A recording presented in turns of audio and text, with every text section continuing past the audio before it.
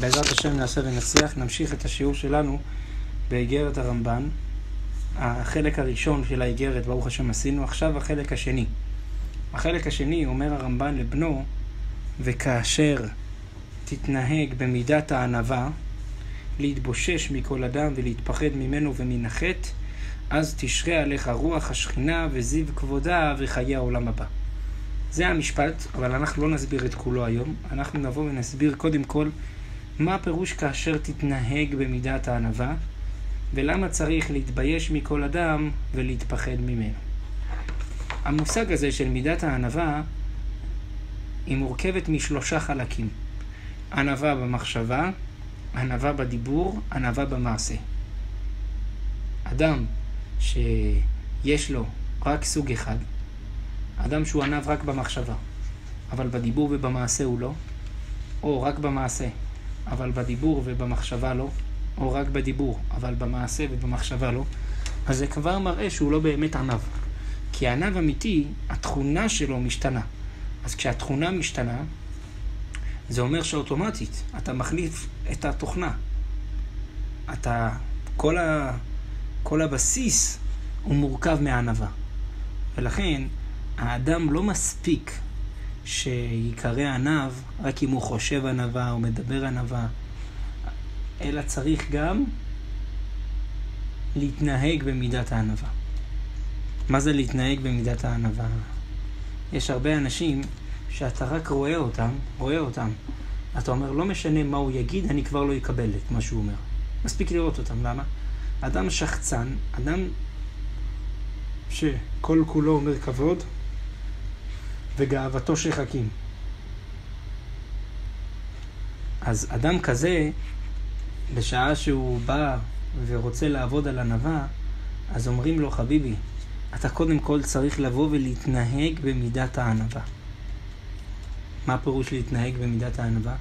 תתחיל, תתחיל להראות שאתה ענב.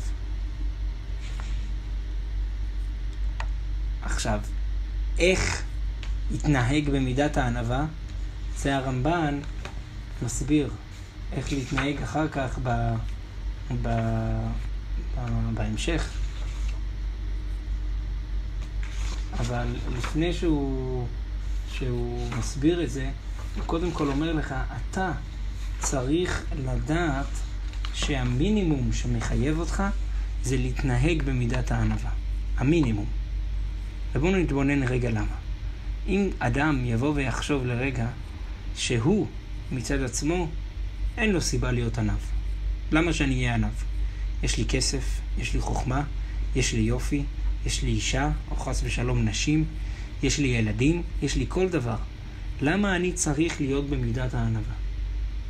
אז זו המחשבה המינימלית שיש לאדם המצליח. התשובה הפשוטה לזה, מה אתה עשית בשביל לקבל את הכל? מה עשית? יש לך ילדים, בסדר, טרחת, הבאת ילדים לעולם, אבל אתה גרמת שהזרע ייקלט ושהאישה תוכל להתעבר, ותשעה חודשים גידלת ורוממת את העובר בפרי בטן? הלכת וקיבלת אישה יפה. אתה עשית שהפרצוף שלך ייכנס בלב שלה כדי שהיא תתחתן ותסכים להביא איתך ילדים לעולם? אתה עשית כסף, עבדת, אבל אתה זה ששכנעת את הצד השני לעשות איתך עסקים ושהדברים שלך יתקבלו? אתה, אם אתה אומר כן, אז האדם הזה הוא טיפש. כי אין לך כוח אלוקי. אתה לא יכול לגרום לשנות את הדעה של השני.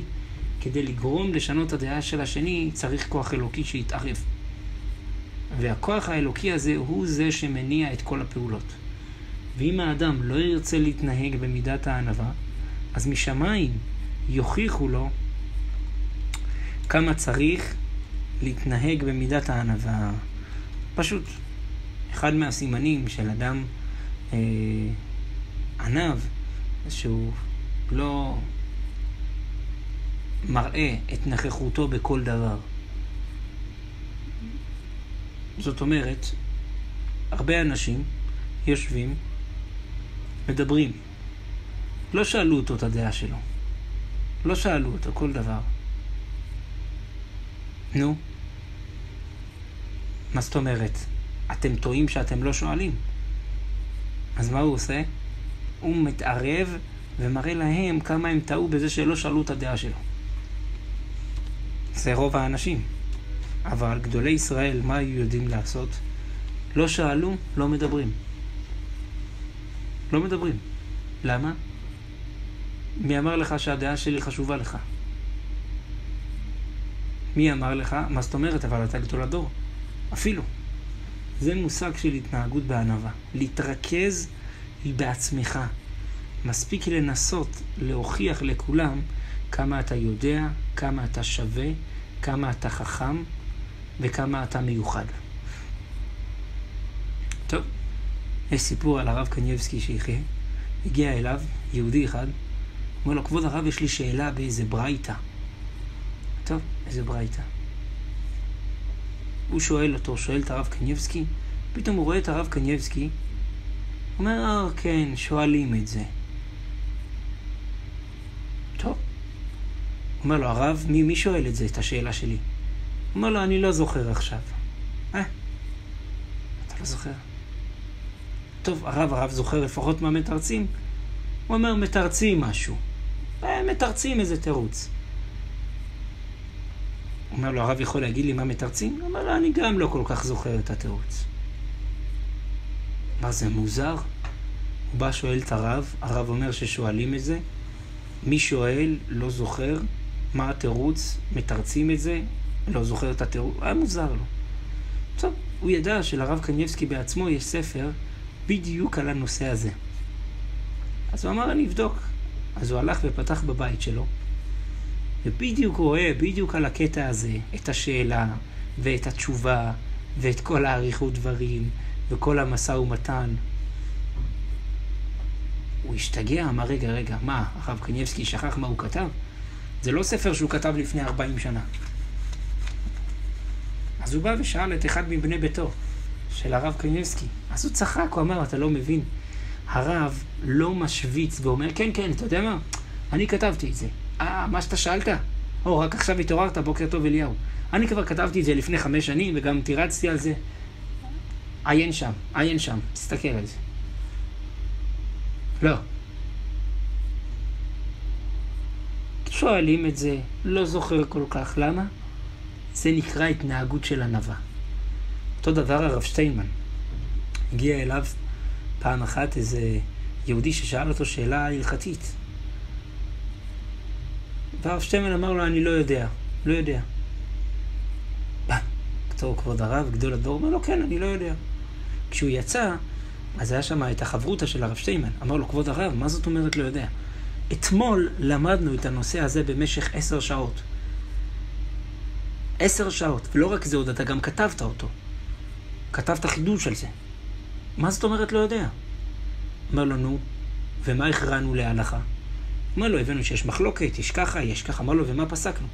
אומר, לא היה מוכרע לגמרי להלכה, כי יש בזה מחלוקת. אמר לו, נו, אז זה מה שאמרתי לו, שאני לא יודע. אמר לו, הרב, לא, הוא יחשוב שהרב לא יודע סעיפים בשולחן ערוך, שהרב לא יודע לפתוח ספר.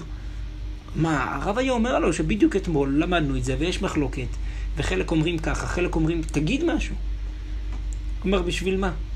אומר לו, הרב, הוא יגיד שהרב לא יודע. מה שיגיד. זה נקרא להתנהג בדרך ענווה. להתנהג. אז למה, למה הרב אמר לו שהוא לא יודע? הוא אומר לו, כי באמת, אני לא יודע את המסקנה ההלכתית.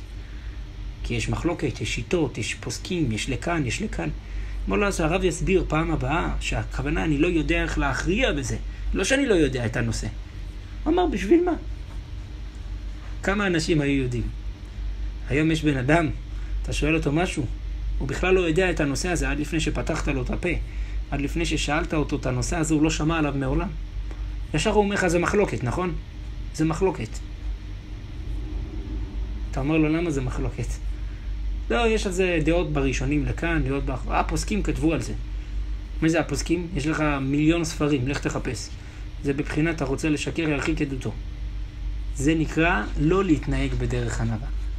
או שמישהו בא אומר לך איזה חידוש, כן, כן, שמעתי את זה, שמעתי את זה. כתוב על זה בספרי המוסר, אותו דבר כשאתה תבוא לקדוש ברוך הוא להתפלל, תגיד את הבקשות שלך, אז מה אלוקים יגיד לך? או, שמעתי, שמעתי כבר. עוד פעם, אה, שמעתי. אבל אם יש לך סבלנות לשמוע את השני, להתנהג בדרך ענווה, לבוא אליו, וואו, פש, כל הכבוד, וואו, וואו, וואו, טוב, פש, איזה חידוש יפה. סיפור, איזה סיפור יפה, כאילו אתה שומע אותו פעם ראשונה. אז הקדוש ברוך הוא יבוא ויקבל אותך גם בפעם הראשונה. אפילו שאתמול ושלשום ולפני שלשום ושנה שעברה אתה כבר מתפלל עוד פעם על בריאות, עוד פעם על פרנסה, עוד פעם שמע קולנו, עוד פעם רפאנו, עוד פעם על הצדיקים, עוד פעם. הקדוש ברוך הוא להגיד לך, די, די, נו כבר אתה משעמם. לצערנו אנשים לא מתנהגים בדרך הזאת של הענווה, לא רק כלפי החברים, אפילו כלפי הילדים, אפילו כלפי האישה. אין לפעמים סבלנות לשמוע את האישה, וזה בעיה. למה? כי יש לפעמים אישה שחושבת שהסיפור של מה שקרה לה היום עם השכינה, זה הכוונה של שתיים מקרא ואחד תרגום. אז היא מספרת את הסיפור, וחוזרת עליו, ומסבירה, ומה היא אמרה לשכינה, ומה השכינה אמרה לה, וזה סיפור, וזה בלבול מוח, ואין לך סבלנות לזה. תתנהג בענווה. תתנהג בענווה, תתנהג בענווה, וזה הכוונה. וכאשר תתנהג בענווה. בהמשך הוא יסביר עוד כל מיני ניואנסים דקים של ענווה. אבל זה האלף בית, תתנהג בענווה. התנהגות נוספת שהאדם צריך להתנהג בענווה זה פחות עצבים. למה? כי כשבן אדם מבין שהוא כלום, הוא פה בובה, ויש מישהו אחר שמחליט על התיאטרון, אז אין לו סיבה להיות עצבני. אבל בן אדם שחושב שהוא נתקע ולא עשו, ואותו הציירו, ואותו וככה וככה, אז, אז הוא עצבני כל הזמן. זה הכוונה לא להתנהג בענווה. זה ההבדל בין אדם שהוא ענב, אז הוא רגוע, אז הוא שמח, הוא שלב, לבין אדם שהוא כעסן, לבין אדם שהוא גאוותן, לבין אדם שמחפש שיכבדו אותו. זה, זה ההבדל בין התנהגות בענווה לבין לא התנהגות בענווה. אבל מה? יש כלל שכותב אותו ספר החינוך וכותבים אותו עוד המפרשים, שכל אדם, אפילו אם אתה לא באמת בדרגה הזאת, תתחיל לעשות פעולות חיצוניות. הפעולות החיצוניות יגרמו לך לשכנע ולהכניס לעצמך פנימה את הדבר. אחר הפעולות נמשכים הלבבות. זאת אומרת, בשעה שבן אדם אפילו יראה כלפי אחרים את הענווה, לאט לאט לאט לאט הוא ישתנה גם בפנים. זה לא ייחשב ענווה של שקר אם הוא עושה את זה כדי להכניס לעצמו את הענווה בפנים. לכן אם נשים לב, פה הרמב"ן ישר מתחיל, וכאשר תתנהג בענווה. תתחיל, תתחיל להתנהג במידת הענווה. אפילו אם אתה לא כועס על מישהו, רק בגלל זה שאתה משחק אותה ענב, זה כבר ברכה. אתה לא מתפרץ, אתה לא מתנהג בחוזר דרך ארץ. רק בגלל שאתה מראה כאילו אתה ענב, זה בסדר. זה כבר ברכה. וזה המשפט הבא, להתבושש מכל אדם. איך? זה הוא גם מסביר בהמשך, שכל אדם צריך להחזיק את האדם השני שמגיע אליך כאילו הוא יותר ממך. אבל אם אנחנו נשים לב, אנחנו נראה שהרמב"ן פה כורך את מידת הענווה ואת מידת הבושה ביחד. ככה בספר הישר הוא כותב שהבושה והענווה תלויים זה בזה. וגם במשפט, יש משפט כזה, משנה כזאת, באבות, בפרק ד' משנה י', הווה שפל רוח בפני כל אדם. ובואו נתבונן רגע על מידת הבושה. מידת הבושה בעצם, אדם שהוא גאוותן, החלק מהעומק של הגאווה זה שהוא לא סופר אף אחד. לא סופר אף אחד. מי אתה בכלל שאני אבוא ואני אספור אותך? מי אתה בכלל שאני אבוא ואני אחזיק ממך משהו? אז בשעה שבן אדם לא סופר אף אחד, מה זה גורם לו? גם לעשות עבירות ולא לספור אף אחד. עד כדי כך. הוא כבר לא יכול לבוא ולהגיד, אני מתבייש. ויש אנשים שנלחמים עם הבושה שלהם. נלחמים עם הבושה שלהם. באים והולכים כל מיני, עושים כל מיני שטויות בפרהסיה, ומה זה גורם? שהוא הורס את הבושה שלו. וזה ממש מעשה שטן. למה? כי ההנהגה היהודית הם ביישנים, רחמנים, גומלי חסדים. ובא בן אדם, מתערב עם חבר שלו, איך שהוא רץ ערום ברחובות כדי שהם ייתנו לו 100 דולר. מה זה הופך? זה הופך את הבן אדם שהוא שובר את מידת הבושה שלו. למשל, הגמרא אומרת בברכות, בדף י"ב עמוד ב', שאדם שעובר עבירה ומתבייש בה, מוחלים לו. ויש גרסה, מוחלים לו אפילו על כל עוונותיו. למה? כשהקדוש ברוך הוא רואה שלא אבד עליך הקלח. זאת אומרת, נשאר בך משהו. יש בך בושה, אז אתה לא איבדת את הדעת, יש בך מידת ענווה. יש בך מידת בושה ומידת ענווה שזה הולך ביחד? אומר הקדוש ברוך הוא, יש תקווה לאחריתך. אני מגיע ורוצה לשרות אצלך עד כדי כך שכדי לשרות אצלך אני מוכן לכפר לך על העוונות. ובאמת, הנקודה הזאת של אדם שעובר עבירה ומתבייש בה, זה דבר גדול מאוד. והרבה פעמים בן אדם לא מבין, לא מבין אה, למה הקדוש ברוך הוא פרסם את הבושה הזאת, את הפדיחה הזאת, את הדבר הזה. כל זה כדי לבוא ולכפר לך על העבירה. ולכפר לך על העבירה. ואנשים לא יודעים מה זה בושה. לא יודעים מה זה בושה. היה פה סיפור, השם ירחם. היה חתונה, חתן וכלה, מתחתנים, סוף הערב באים, פותחים את הכספת של הצ'קים, נעלם. מה זה נעלם? נעלם. הולכים, רואים במצלמות, מה מתברר? האבא של הכלה הלך, לקח את זה, ביקש את זה, פתח, לקח את כל הכסף, ברח. טוב, לא היה נעים, קראו לו, קצין ביטחון קרא לו. הוא אמר לו, איפה הכסף? הוא אמר לו, לא יודע על מה אתה מדבר. לא יודע על מה אתה מדבר. הוא אמר לו, בוא תראה מה אני מדבר. ראה לו בטלוויזיה. אתה רואה איך אתה נכנס, לוקח, פותח, לוקח את הכסף, רץ החוצה, שם ברכב. איך שהוא ראה את זה, נפל, התעלף. מהבושה. מהבושה. חוץ מהרעיון שזה מה שיהיה לעתיד לבוא, כשאדם יראה את עצמו שם, אם הוא לא יחזור בתשובה, איזה בושה נוראה. אבל אם האדם ידע את הרעיון הזה, כמה צריך להיזהר, כמה צריך לבוא ו, ו, ולהשתמש בבושה ולא לשבור אותה. לא לשבור אותה. לא לשבור את הבושה. רבי נחמן מברסלב כותב בליקוטי מוהר"ן, בתורה ל"ח, באות ו', שההסבר שהבושה מוחקת את העבירה, כי אדם שעובר עבירה זה על ידי שנכנס ברוח שטות. ובושה היא מחזירה את הדעת לאדם. את אותו רוח שטות שנכנסה באדם, כשאדם מתבייש, הוא פתאום מקבל הכרה, וואי, מה עשיתי?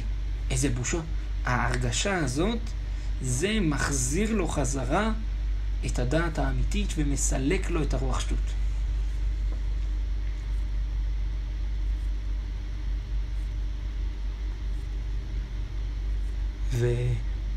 וזה הנקודה, הוא בכלל, הוא מסביר גם בלקוטי מוהר"ן, בתנאיינה, בתורה פ"ג, הוא אומר שאדם שעובר עבירה ומתבייש בה, מוחלים לו, כי על כל פשעים תכסה אהבה, ככה במשלי פרק י' כתוב. הוא אומר, ועל ידי הבושה נשפך דמו. נכון? והקדוש ברוך הוא מקיים מצוות כיסוי אדם. איזה כיסוי אדם? כיסוי אדם שנשפך. אז הוא מוחק לו את העבירה. אחרי שאדם נשפך. זה הרעיון שהוא אומר בזה. אבל כל הנקודה הזאת זה למי שיש בושה. זה למי שיש בושה, אבל למי שאין לו בושה, שום דבר, אין לו תקנה. וראינו שבושה וענווה הולכים ביחד. בושה וענווה הולכים ביחד. ולכן אדם שמתבייש מבני אדם זה מידה טובה. זה מידה טובה, זה מידת הצניעות. אם אישה הייתה מתביישת מפני אדם, אז היא לא הייתה הולכת חשופה בחוץ. אם האישה הייתה הולכת, אה, מפעילה את הדעת שלה, טיפה, טיפה, אז לא היה נכנסת באותה רוח שטות.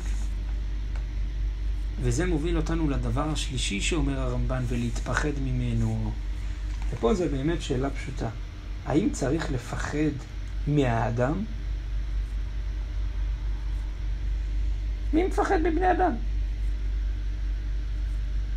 הרי צריך לפחד רק מהקדוש ברוך הוא. צריך לפחד מבני אדם? הפוך. בן אדם שפותח בהשם, זה לא מה לפחד מבני אדם. אז פה יש כמה וכמה הסברים. מה הפירוש של הדבר הזה, קודם כל אנחנו צריכים לבוא ולדעת מה הפירוש פחד. מה פירוש פחד? אז היום מסבירים פחד בשתי אופנים. או שאתה מפחד, מפחד ממשהו שיכול לקרות, או ממשהו פתאומי, משהו מבהיל, משהו שבאמת לא יכול להזיק, אבל הוא מפחיד, למשל. יש שתי פחדים, יש פחד ממחבל, אפילו שהמחבל נראה עם עיניים כחולות, בלונדיני או נאצי, נראה דוגמן, אבל זה הפחד. מה זה הפחד? זה פחד ממה שהוא מסוגל לעשות. ויש פחד מהמציאות עצמה, מכשפה. אדם רואה מכשפה באמצע הלילה, לפעמים הוא יפחד, לפעמים הוא לא. יבהילו בן אדם, פתאום הוא ישמע איזה רעש מבהיל, הוא ייבהל, מה אתה מפחד? מה המכשפה? מה אישה זקנה עם שיניים רקובות יכולה לעשות לך? המראה מפחיד. לא פחד ממה שיכולה לעשות. המראה מפחיד. פה לא מדברים לא מזה ולא מזה. מדברים על משהו אחר. כדי שנבין מה הפירוש, אנחנו נראה שלמרות שלא מדברים לא על זה ולא על זה, אבל פה יש פה פחד שמימי. ונסביר. התוספות במסכת בבא קמא בדף כ"ג עמוד א' כותבים שהאדם צריך יותר להיזהר שלא יזיק לאחרים מאשר שלא יזיקו אותו. יותר אתה צריך להיזהר שלא יזיק משלא יוזק. שזה נגד ההיגיון האנושי. מה זאת אומרת? יש בן אדם בא להזיק לי, אני שובר לו את הראש. אבל אם אני מזיק לאחרים, מה אני אומר? או, סליחה. אז זה האדם צריך יותר להיזהר, אומר תוספות, שלא יזיק משלא יוזק. זה בדיוק הנקודה פה. אומר הרב יחזקאל לוינשטיין, בור יחזקאל, תורה עמוד רס"ז, שהפחד מהשני זה מתוך חשש שמא חס ושלום תפגע בכבודו. לא ממה שהוא מסוגל לעשות לי, הוא נח נח, הוא לא מסוגל לעשות כלום. לא בגלל שהוא נראה מפחיד, הוא נראה כמו מכשפה, לא. שמא אתה תיפול בכבודו, שמא אתה תבוא ותגרום לעצמך בעיות כל החיים בגלל שנכשלת בלשונך. החפץ חיים כתב בספרו זכור למרים, פרק ט"ו, שהיות ועל כל עם ישראל נאמר בפסוק בספר מלאכי פרק א', אהבתי אתכם אמר השם. אם כן, האדם צריך לפחד שלא ייוודע למלך שפגעת באהוב שלו. הרי הקדוש ברוך הוא אוהב את היהודי. אם הוא אוהב את היהודי, איך אתה מעז לפגוע בו?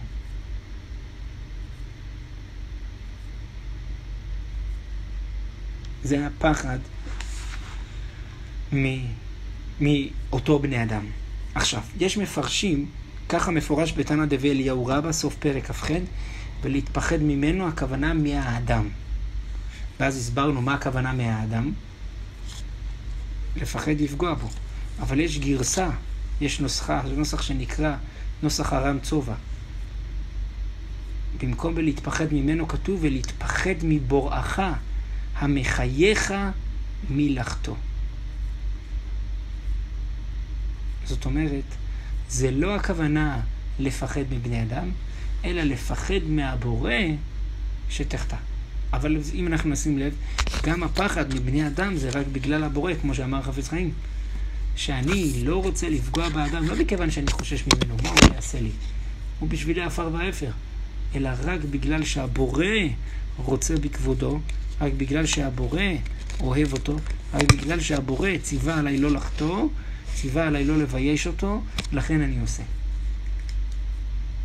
ואם אנחנו נשים לב, אנחנו נראה אנשים, איך הם מגיעים לבייש בן אדם. רק בגלל שהם חושבים שאתה יותר טוב ממנו. אם אני יותר טוב ממנו, ממנו אז למה לא לרדת עליו? או שהם חושבים שהוא עשה לי משהו. זה הסיבות. אבל אם אתה מבין, רגע, רגע, רגע, אתה לא יותר טוב ממנו כי פשוט אלוקים החליט שאתה תהיה יותר טוב, אז זה לא אתה. ונקודה נוספת, הוא לא יכול לעשות לך כלום בלי רצון האלוקים, אז זה רצון האלוקים. מה אתה פוגע בו?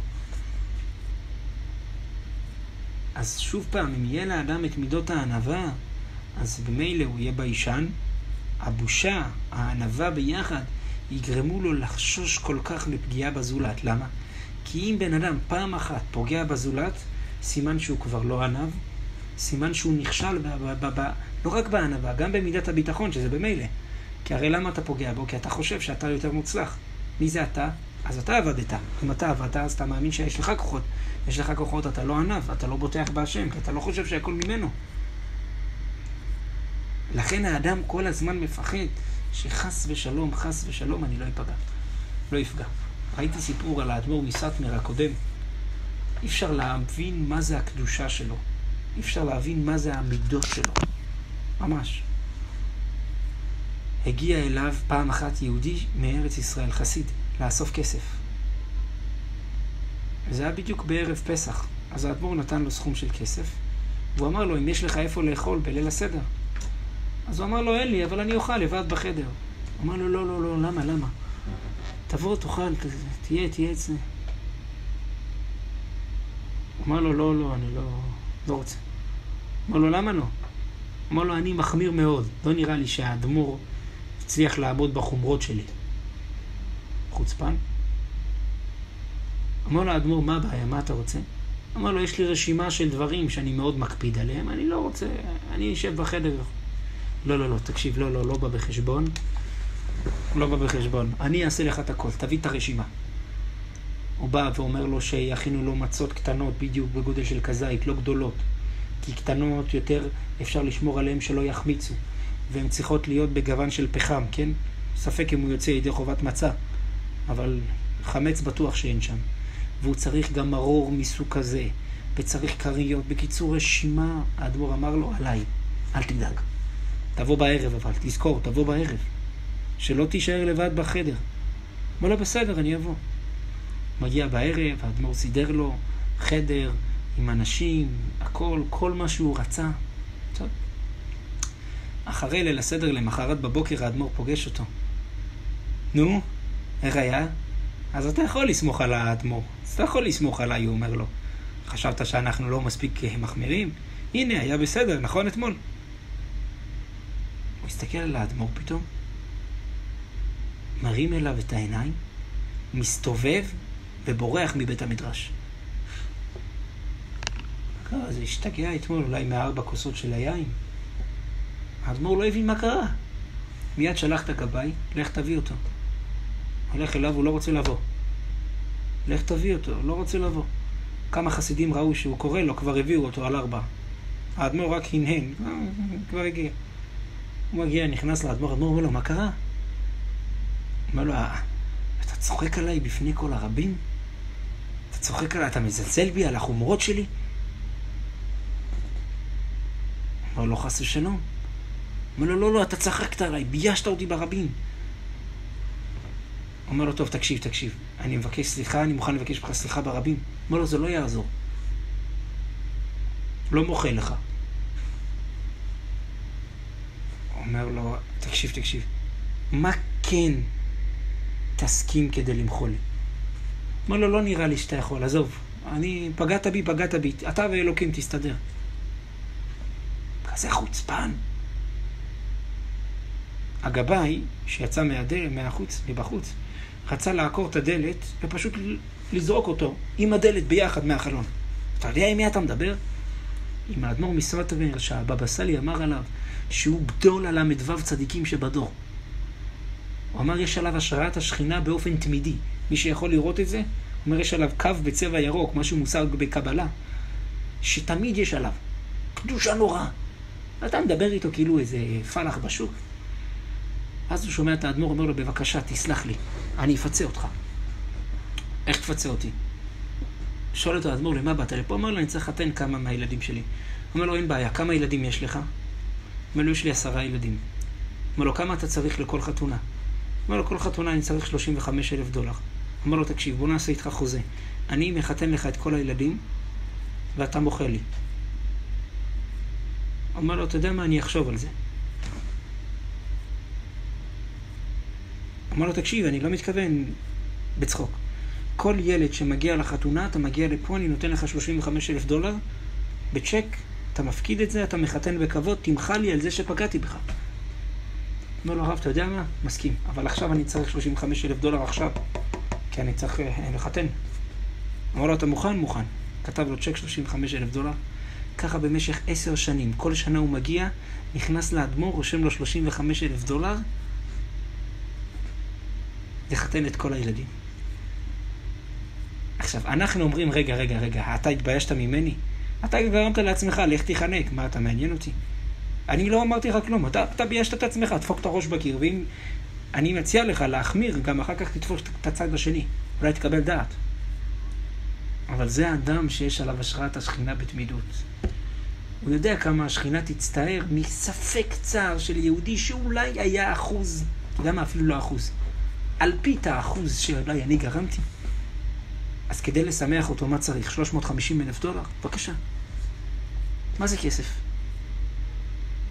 מה זה? אומר, גם לעזור ליהודי. זה ישמח אותו? בבקשה. זה נקרא מה שהרמב"ן אומר. וכאשר תתנהג במידת הענווה, להתבושש מכל אדם ולהתפחד ממנו ומן החטא, אז תשרה עליך רוח השכינה. אנחנו קצת רחוקים מזה, אבל לפחות נבין איפה הרמב"ן היה אוחז, ולמה זה מחייב אותנו. כי לפעמים בן אדם קורא פירוש על התורה, הרמב"ן. לא נראה לי הרמב"ן הזה, אה, נראה לי הרמב"ן פה נרדם כשהוא כתב את זה. הלו, אתה מבין? אתה מבין איפה הבן אדם אחז, וזה לפני 800 שנה, עזוב לדבר על התנאים, עזוב לדבר על האמורים.